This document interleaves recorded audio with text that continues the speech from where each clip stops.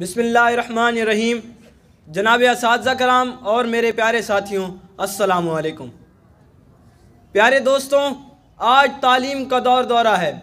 हर जगह तालीम की अहमियत पर बात सुनी, लिखी और पढ़ी जाती है। लेकिन बहसीत कौम, हम जिस चीज़ को फरामोश कर रहे हैं, जो कि तालीम के साथ लाजिम मलजूम है, वो तरबियत है। अगर तरबियत ना हो तो आला से आला डिग्री भी सिर्फ़ और सिर्फ़ कागज़ का एक टुकड़ा है, जो जिसकी अहमियत रद्दी बराबर भी नहीं।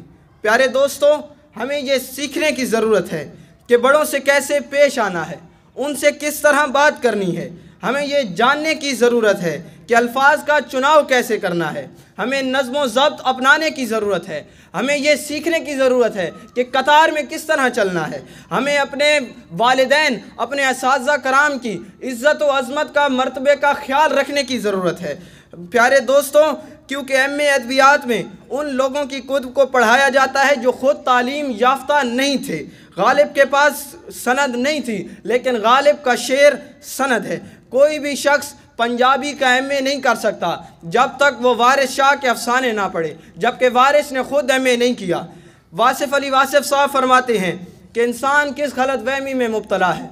इंसान किस गलत फहमी में मुबतला है कि वो क्या पढ़कर क्या बनना चाहता है? हमें वो शमा बनना है कि जिसकी रोशनी सिर्फ़ और सिर्फ़ हमारे घरों तक ही मौजूद ना हो, बल्कि उसकी रोशनी से चारों सू रोशन हो जाएँ। आखिरी बात मैं करता हूँ करके इजाज़त चाहूँगा कि तालीम की कमी को तो तरबियत पूरा कर सकती है, लेकिन तरबियत की कमी को तालीम पूरा नहीं कर सकती।